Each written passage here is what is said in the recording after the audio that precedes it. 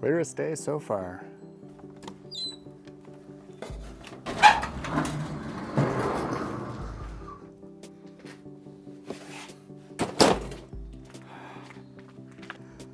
That's what happens when it's cloudy for months on end. Hey everyone, John here from Learn to Stargaze, and in this video, we are going to create the smallest travel deep sky imaging rig that we can possibly uh, set up, including this, uh, the 2600 MC Duo. And another thing about this video, no script. No script this time. I'm just gonna be winging it. I'm gonna be winging this setup and trying to kill multiple birds with one stone here. So you probably realize that I haven't been posting many videos to YouTube recently. And the reason is uh, I'm just doing a lot of things at once. And so we just finished up grad school, uh, at least the capstone of my grad, grad school project at Johns Hopkins. I've also got publishing deadlines with Sourcebooks. So we're doing a binocular book with Sourcebooks. And that's where this camera comes in. So I realized I had taken all the pictures uh, for the binocular book with my other camera, the 294 MC Pro, and then I started taking photos with the, the new camera, the 2600, and I realized that for publishing a book, the, the quality difference is quite significant, so much so that I think I'm gonna retake most of the pictures for the book. But here's the thing, the deadline for the book is about a month away, so I have to act fast. And if you look at our forecast, uh, springtime in Canada, there's just not that many clear nights. So we're in a little bit of a squeeze, but I've been invited to the Analog Astronaut Conference just south of Phoenix, Arizona again this year. So what I think I'm gonna do is I'm gonna try to put this camera in my carry-on again. And so we did this a few years ago. I took a similar setup um, with, with a larger telescope, uh, except it was heavy and was sort of a pain. Yeah, I have some ideas on how we're gonna shrink this. This current setup is a bit janky. We've got actually two ASI airs tied together here. The other thing is I need to find my shorter USB cord. This is a, this is a cable management nightmare here. And I'm gonna see if we can do away with one of the counterweights. So the Seestar is not quite the quality needed to make books, because I also need a very wide field of view, because again, I'm simulating binoculars. We might be able to find a way to leverage this tripod with this telescope. And then this can easily fit in my carry-on. So that's the plan. Um, a couple things we need to do. I'm gonna borrow the finder scope connection here and see if I can get that to hook on to the, the ASI Air Mini.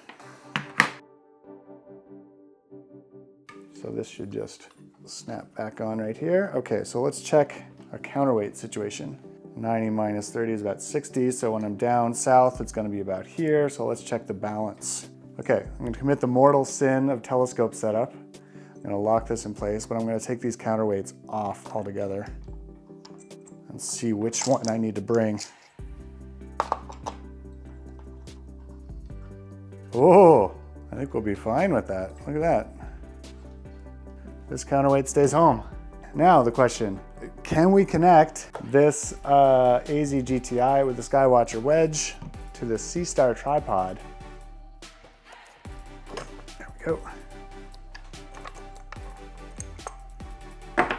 Wow, it looks like that's a match. There we go. Now the question is, do I trust it? Oh, gross. Stella just ate some of the kids' Lego there. So that looks pretty stable. Let's see here. Not gonna fall over. I think this will work. This bolt. So the bolt that holds the AZ GTI onto the Skywatcher wedge, yeah, it had to be replaced because the wedge had a knob here before that was so big it ran into the mount. So, so this had to be replaced. And I just replaced it with the one I had around the house, which is so long that there's a risk that the telescope will run into it. At least the axis here, and I'm gonna see, because otherwise we'll need to run to the hardware store. It clears. Oh, cord and SD card. We'll also need to bring a flat panel with us as well. Otherwise, some pretty funky pictures. All right, so we've got our smaller USB cord. I actually put a longer power cord on the connection between the ASI Air and the mount because I snagged that last time.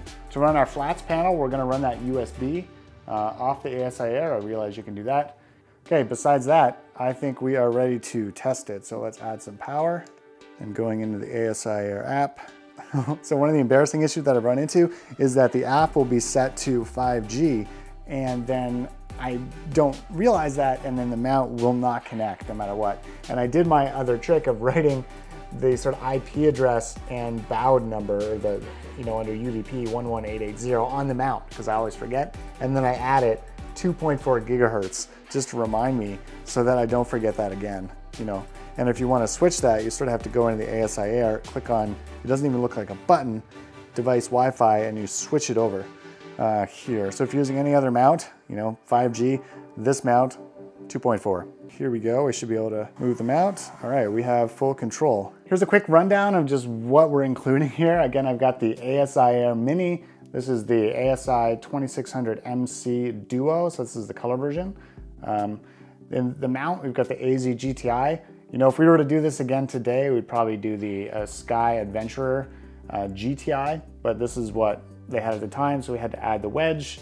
Uh, this is a counterweight uh, that I just ordered separately off Amazon, I believe. And this telescope is the uh, Askar FMA 180 Pro. And I think that what the Pro includes is just this, this dovetail. And so that is what we're including. I'm gonna remember to pack this little Bahtinov mask that I 3D printed. And if you want any of the 3D print files, I typically post those to my Patreon. You can contact me on there if you would like a copy. So let's put this in the bag and see how much fits.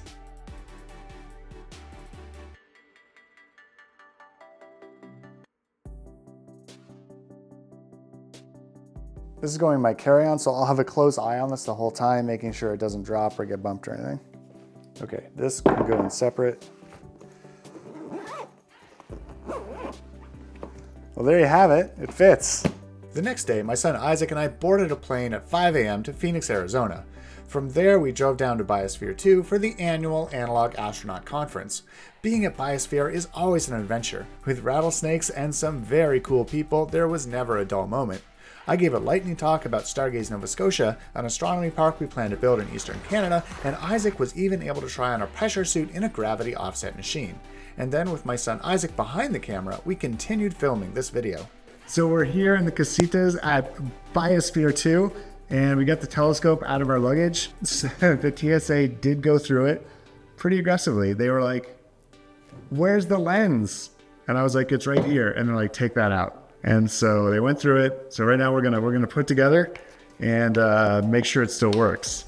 And then tonight we've got clear skies here in Arizona, and so we are going to put it to the test and start taking some photos in dark skies. John, you mind if I help you out with that? Yeah, Jesse, come on. And we've got my man Jesse here. Just completed his application to become a NASA astronaut. What's going on, Which is guys? quite the process. And you are a fabulous entertainer as well. A galactic mission. Someone say I'm tripping. Astronaut expedition. Wait. Yeah, do a little bit of music thing, a little bit of tech thing, and a little bit of space thing.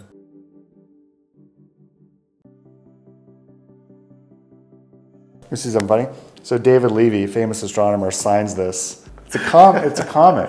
Yeah, it's he's, a comet. he's a famous comet hunter. okay, so hypothetically, this should come to life. You hear that? I hear it. If this were nighttime, we would pop off the lens here. That's the computer booting up. There's actually two cameras in here. There's one camera that's going to do three minute exposures to take photos of space. And there's a second camera that is going to take one second exposures and that'll do our guiding. But it looks like it's working. Oh man.